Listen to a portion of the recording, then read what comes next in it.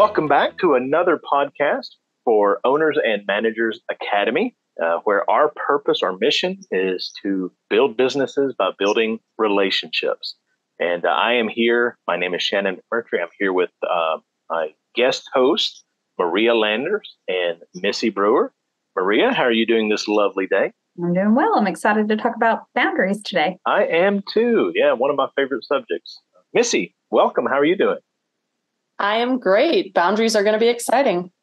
well, I hope so.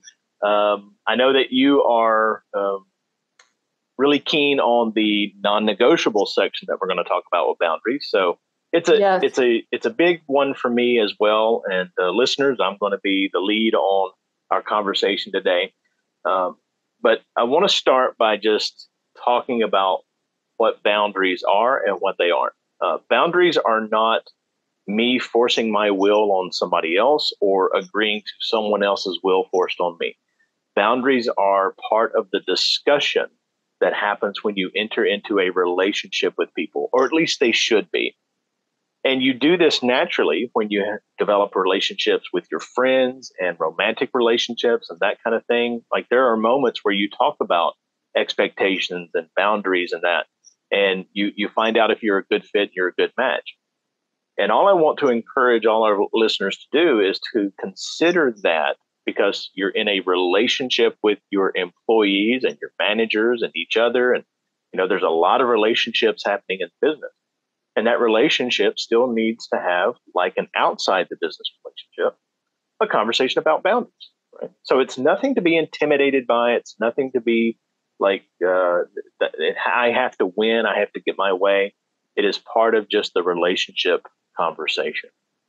Um, I have a, a, a quote that I want to share with everybody, and this quote is really referencing a story from the Old Testament in the Bible. Now, I'm not turning this into a, a preaching sermon. We're not going to uh, pass a hat around to all the listeners asking for a tithe today. But uh, there's a story about Abraham and Abraham uh, being told to sacrifice his son um, on a on a mountain on an altar.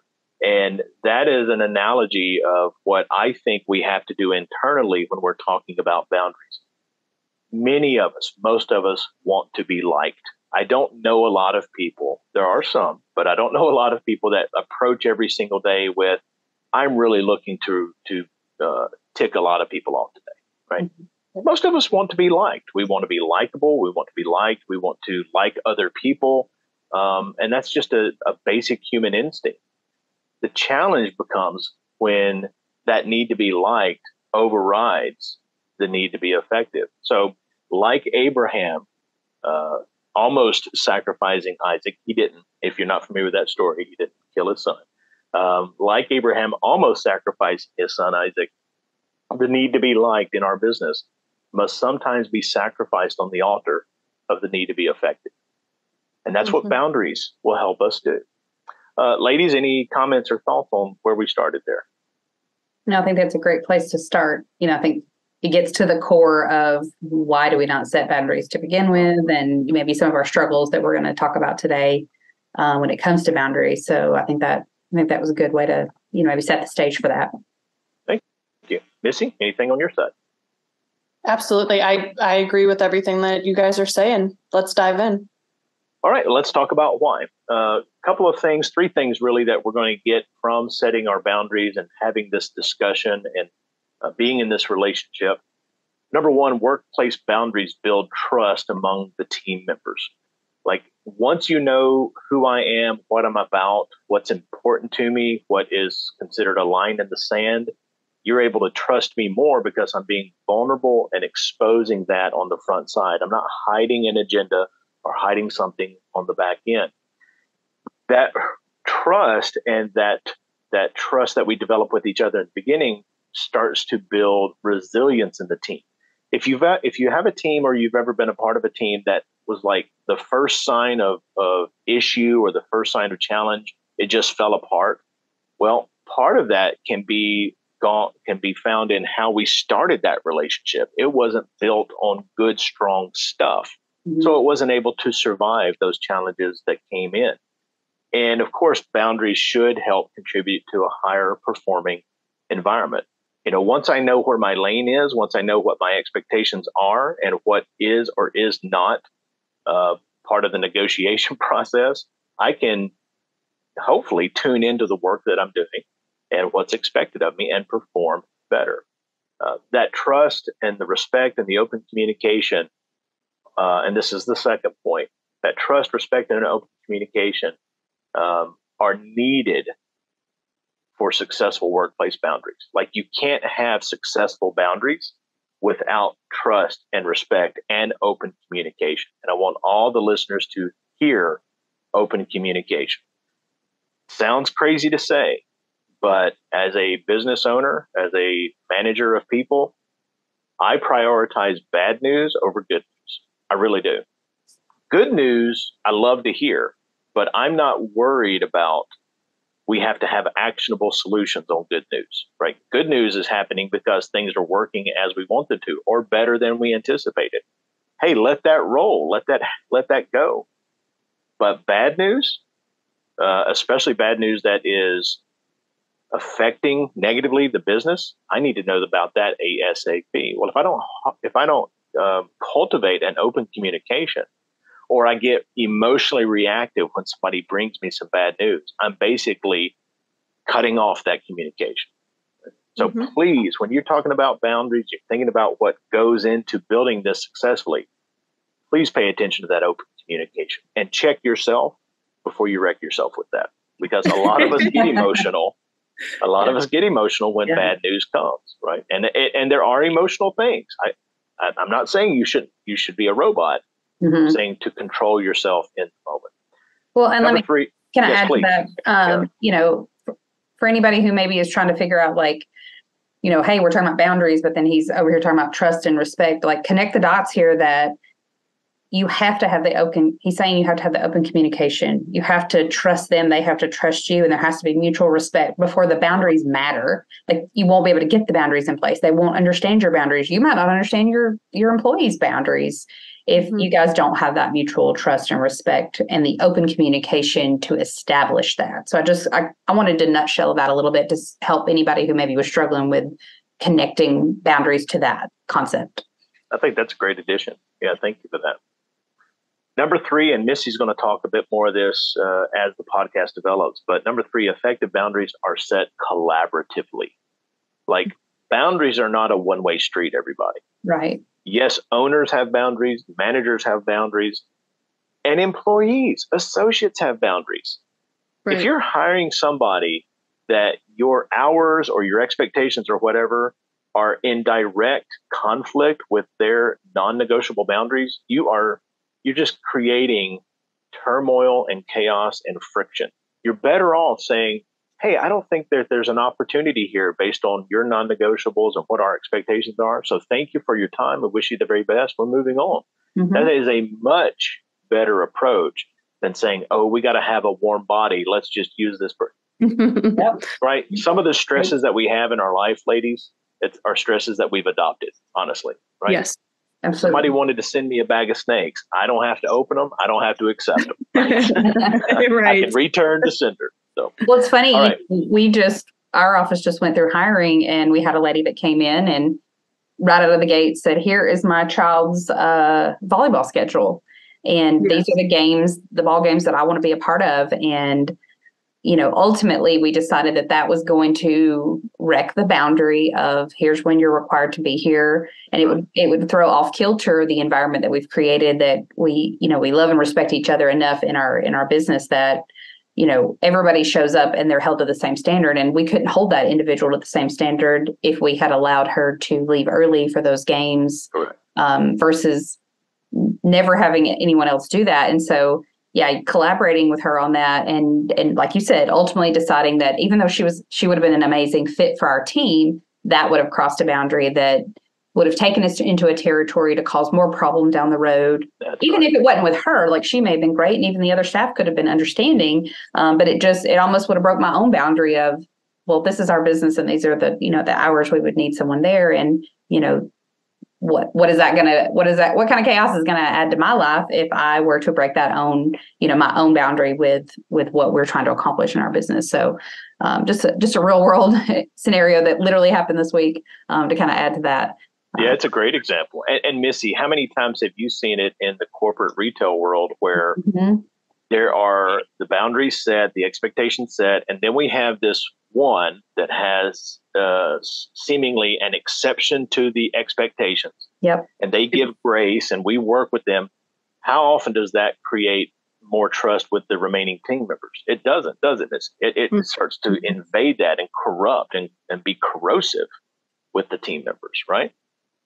Yes, you know now one of the things that I that I will tag on with that is that as we're looking at um, boundaries or non-negotiables that certain people have, you know, I I worked um, and still do work with a lot of women that are business owners, and they their first priority is being a mom and is mm-hmm. showing up for their family. So if they are sick, it's very important that they understand who their next up person is to come in because their non-negotiable is leaving their kid with the sitter when they're sick, right?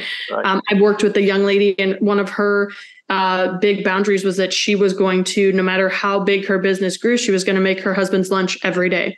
Hmm. And to some of us, we're like, that's crazy. And no, thank you. I would never want to do that. but for her, it made her so happy to know that she was offering him nourishment and she was giving him little love notes in her notes or I'm sorry, in his lunch. And you know, I I sit back with my clients for their boundaries and I ask them to send me their calendar and to put on their calendar what their non-negotiable times are. Make the and it can be anything. You know i have people that that church is something that that they will never work during that time. That's right. the time they go. That that you know one of the weirdest ones to me was that lunch situation. And that's why i use it as an example because i'm like even i was like okay you know what? None of my business. That's her non-negotiable. So whenever we're looking at at hiring or our staff members also realize that others non-negotiables can all play well together. So whenever I was hiring larger teams, yes, Doc, you're right that if I was just allowing this one person to show up 15 minutes late every day, that would create a, a wobble effect inside, and everyone would be like, "Why does she get to do that?" But if I had someone who needed to leave 20 minutes early every Thursday, and I was understanding to them, or, you know, bend but don't break is what I'm saying. So mm-hmm. understand what your business can take. And that's a huge part of retention as well. Mm-hmm. Knowing who you've hired, knowing who you're involving yourself with. And it's the same way as accountability. Whenever we're looking at these non negotiables that people have, I had a lady that was like, I will never stay, like, my blood sugar gets really messed up. Like, I'm going to clock out for lunch every day on time no matter what. Like I just I feel terrible whenever I don't. Okay, that's all right, right? In the job that she was in, that was all right. Not every job, but as as I realized that I was giving staff the opportunity to have their non-negotiables and set their boundaries, mm-hmm. my team all worked well together because they also understood, yep. oh, she needs to get her child on the bus. Or oh, he he like he loves eating lunch with his son every Thursday, so he is going to be gone for an extra 15 minutes it created such a harmonious effect with inside of my team. So I don't want us to always think about boundaries or non-negotiables as a bad thing. Right. I want to embrace them. Yeah, that team building element, Missy, it you know, it's like a jigsaw puzzle. All the mm. pieces don't need to fit with me as owner or fit with me as manager. All the mm. pieces have to fit together. That's the only way we're going to create a beautiful picture. All right, I want to talk a little bit about pitfalls before we get into uh, how to set these, give some tangible advice on what to do. Uh, pitfalls when you don't set boundaries or don't set them the right way, or they're not healthy for everybody. Uh, I call it the three C's. You're going to have confusion, you're going to have contention, and you're going to have corruption. Right? Cont- mm-hmm. Confusion, contention, corruption without boundaries or proper boundaries or healthy boundaries, you're going to create confusion in the people that you are building a relationship with. Mm-hmm. And I hope you understand that based on what we've already covered so far. Confused people are not confident people.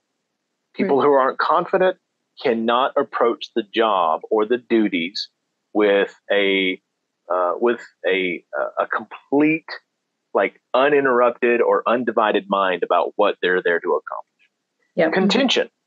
When the boundaries are not clear, when they're coming last minute or they seem to be always changing, you're building contention emotionally with that person. they may not say anything, but they're going to begin to harbor resentment. And now they're going to be talking to uh, their significant other about, well, the job is this, and I have this, and oh, I was promised that, but now it's this. Listen, if that person at home is not supporting this company or supporting this relationship, that person who at home is going to win, right? They're going to you're going to yeah. possibly lose good people, mm-hmm. and it all goes back to to the fact that we just didn't handle our business of the business on the front side, yeah. and then corruption, corruption of the relationship. As these things build, as the emotional issues build, it gets to a point where it just becomes too much, and people are very unlikely to say, I still respect you. I still like you. This just isn't the right environment for me.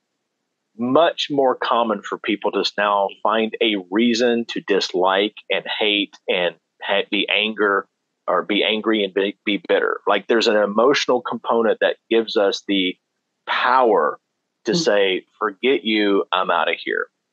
And that's that's really something that is unfortunate, but that's the reality of this, right? The end result is not just losing an employee, but corruption of that relationship.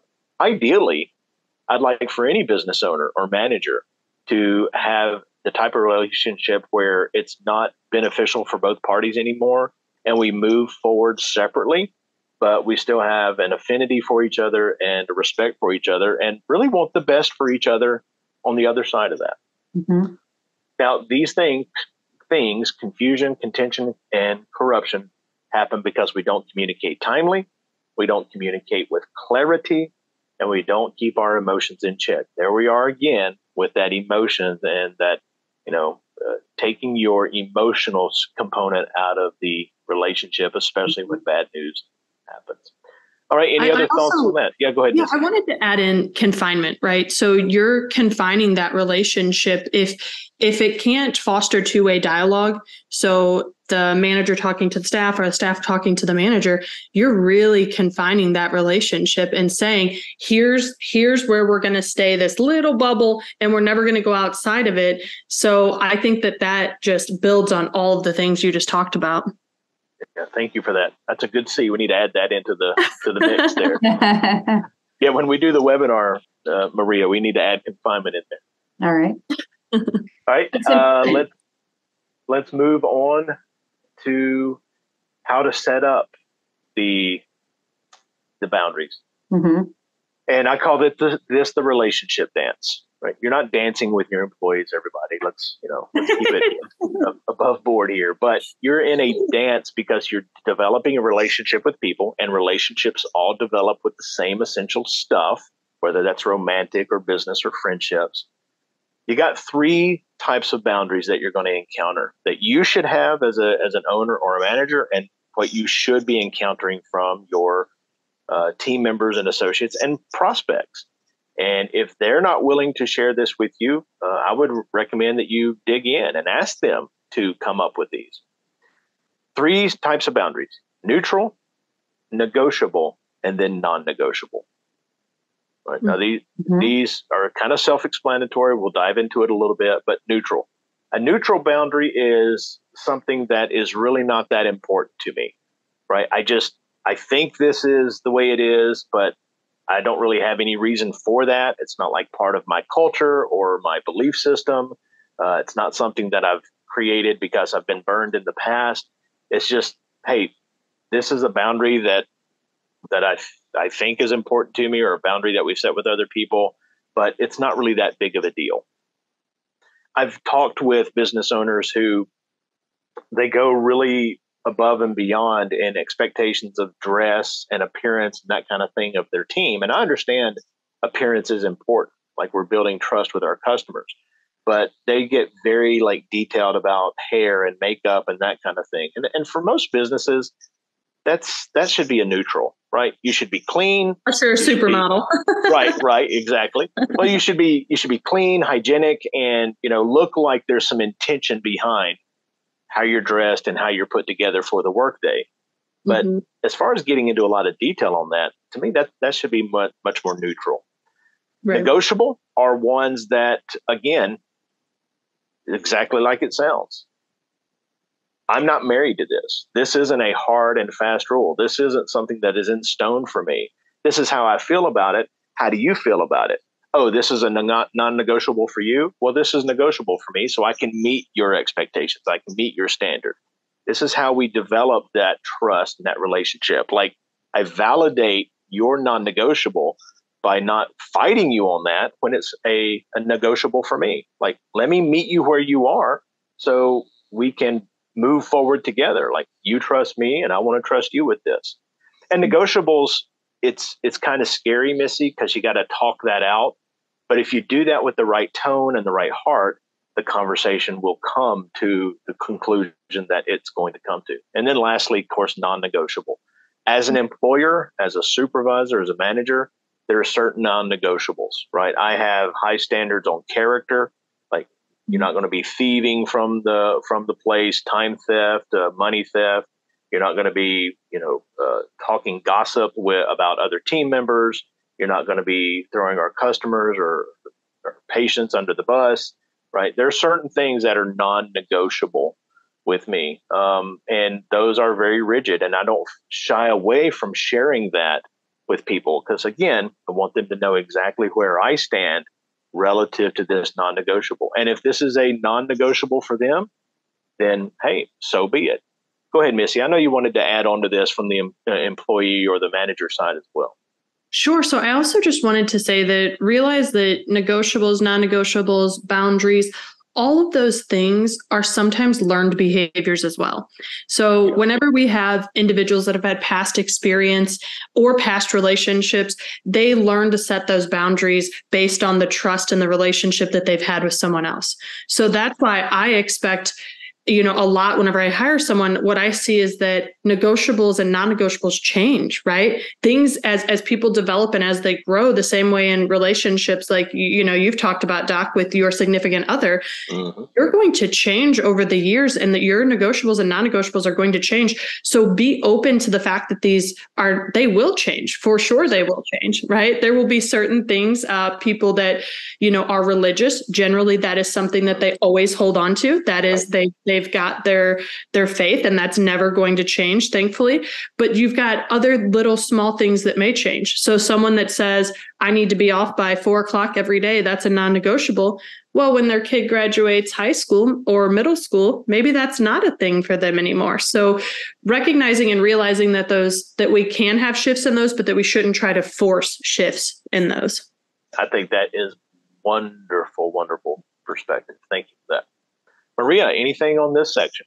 Yeah, you know, just think about what Missy was just saying. You know, I think that is it takes us back to the first point about having the trust and the open communication. Because if somebody isn't comfortable enough, you know, if you're the business owner and you know, it's our job. I'm, I'm going to digress slightly, but it's our job to make sure they know that we are supporting them. Like, it's yes, the employee's job is to show up and give it their all and be a good team player, but like the the tone for everything that we do gets set you know by us. You know we're the one that has the vision for this business. We you know we're the ones that you know started this whole thing. And so i think sometimes you know as as i've worked with other uh, business owners you know i think they lose sight of that and they think well it's their it's their job to tell me you know when things change. And and yes it is. I mean you can't read their minds but did you set you know let me ask this question as a business owner did you set the environment for that? Mm. you know did you create trust and respect and open communication? So you know there's a reciprocalness that that starts with us you know and more the more content that you you engage with us here at OMA you're going to find that like that that's almost like our gospel right? Like you you my friend as the owner um, is is probably where maybe things got off track. This, you know, whether it's an expectation, whether it's a boundary, you know. So I say that in love, and I and to say I've made that mistake as well. But um, I think I think what Missy was speaking about there is is really important to remember. They're not going to come and talk with you if you didn't create open communication in the first place. Amen. As the business owner, as the as the supervisor, the associate looks at you to set the pace on that. Mm-hmm, mm-hmm. And if if they don't feel comfortable talking to you, yes, they may be shy or you know other things like that, but generally that's an indictment on who you are and the culture you've d- started right. this person. Right. All right. We're going to wrap it up here with what to do when a boundary crossed, and this is going to be from the uh, employer, the owner, the manager's perspective, but it, goes both ways. Again, this is a two way street. Uh, Maria, I also want to uh, give an opportunity for you to talk about what's upcoming with our events and stuff inside mm-hmm. of OMA as well. Okay. So, when someone car- crosses a boundary, right, as owner or manager, when I have a customer, a employee, when I have somebody who's crossed, crossed, car- crossed, crossed one of those boundaries, it is it is completely important and priority to reinforce that, right? Yes. And you have to reinforce it the first time. Uh, you cannot wait for it to be done enough that now it's really ticking you off. Remember, there, were, there we are becoming bitter and angry to get the emotional power to have the tough conversation. You have to just gently reinforce hey, this is our boundary, this is our expectation. You, you're deviating from that today. That's not acceptable, right? It doesn't have to be a ton of bricks coming down on somebody. It's a gentle nudge of reinforcement. That first time is the most important, right? If you if you expect your child to make up their bed or take out the trash or not use ugly words in the household, the first time they deviate from that expectation is when you have to sit down with them and just have a conversation. You don't have to scold, you don't have to punish, just have to give them a reminder of mm-hmm. where that boundary is. Like I said a moment ago, you have to do that the first time it happens. That is the most important one. Because if you don't do that, you send confusing mixed messages to that person about uh, about what the boundary is. Like there, we we can deviate from the boundary uh, up to three times before we get talked to. No, that's a bad standard. Right. So we always reinforce, even when it's minor or a slight deviation. And the first time we deviate or see that deviation is the most important time yes. to have that reinforcement. The tonality that you bring to that, and I'm not being angry or bitter or combative in tone. That is not the tone I'm talking about. But the tonality that you bring needs to reflect the seriousness of the boundary. Mm-hmm. If we have done something particularly egregious and it is a big problem, then I'm going to have a very quiet one on one with a matter of fact tone, very, uh, very dispassionate, right? Like, this is how it is. Mm-hmm. Do you understand that? Did we lose you with any of that? Okay. If it's not something that is profound, then the tone needs to reflect that. Mm-hmm. Again, that sends congruent messaging and congruent communication to the people that you're in that relationship with. Mm-hmm. And this is true really for all of our relationships. Yeah. Right. If if, if my spouse uh, violates one of my you know non-negotiable boundaries, and spouses have those as well, then I have to have a serious conversation. Otherwise, this relationship and the happiness that we hope to have is in jeopardy. Right? Yes. So there it is. That's the quick one on on boundaries. I know that we have a lot more coming with this, uh, but anybody else have any thoughts on it? Yeah, no. I think just going on that last point there, you know, I always think kind but firm. Again, mm. like, like, children, um, you know, they don't, you know, I, as a parent, we've all lost our temper, but the more, you know, if I could remember to maintain kindness, that firmness that I can bring along with that, it's it, like you said, it's a very straightforward approach. Um, but there's no point, you know, especially in employee employer relationship, they're not my child, you know, they're not my spouse. I ha- yes, I have an expectation for what I, you know, want them to accomplish in their in their mm. job duties, but you know, you also have to remember, like you said, non-emotionally, you know, you're you're conveying information about what the expectation is. So, you know, just I, I hate to even have to say it, but come on, be kind Right. right. Awesome. Maria, what's coming up with OMA around the corner? Yeah, so we've got we've got our full webinar planned on boundaries. So if if what you've heard today is something that maybe you need to explore further, uh, maybe you're not sure how to set good boundaries, or maybe if you feel like you've gotten off track, and need some advice and help, you know, maybe restoring some of those relationships, um, we plan to have a full webinar on September the 1st at 8 a.m. Central. Um, you can register for that on our website, which is omaadvisors.com with an extra S dot com. Um, upcoming for the rest of the year, we're looking at exploring the topics of organizational drift and quiet quitting. Um, so we're really excited about you know talking about topics that I think are not generally covered, but can be extremely um, important to small business owners. Um, so yeah, that's what's coming up. I'm really excited for that organizational drift. That was a concept you brought to my yeah. attention a few yeah. months ago, and I thought that is marvelous. Uh, that's going to give a lot of uh, illumination to people about what's yeah. happening inside of their culture and how things kind of get off track and off the rails. So, exactly. uh, listeners, we certainly do appreciate you joining us today. Uh, we are here building businesses by building relationships. And of course, we want to build a relationship with you. If you are a subscriber or one of our Academy members, then certainly want you to stick around for our after hours podcast where they're going to go, we're going to go in a bit deeper on some of the material and concepts we covered today. Until next time, God bless.